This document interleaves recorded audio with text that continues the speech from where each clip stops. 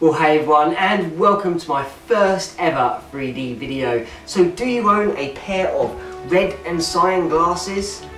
Or maybe even a pair of green and magenta glasses? Or even a pair of blue and yellow glasses? I don't own those but maybe you do. So quickly pause me, go and grab them and then select the 3D tab below and click the option in regards to the 3D glasses that you are wearing. But if you don't own any 3D glasses, well don't worry because you can also click the 3D tab below and turn off the 3D feature and watch this video in a normal 2D aspect. YouTube have supported a 3D tag for quite some time now and a little while ago someone very special brought me a new item and I'm going to be using and taking advantage of it as much as possible. So from now on I will be filming many videos in 3D but there will always be the option to watch them in a 2D aspect for anyone who doesn't fancy it.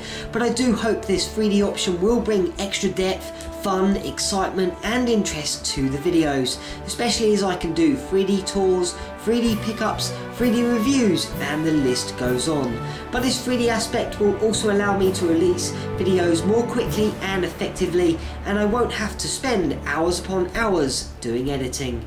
But that doesn't mean to say I won't continue to film video games and consoles from the loft in the same way, although there might be a few changes. I have so many ideas running through my head right now and I will be releasing several new 3D videos over the next two weeks and I really hope you enjoy them as the possibilities are endless. Well thank you to everyone who has supported the channel and me over the past two and a half years and I really hope that you enjoy these new things.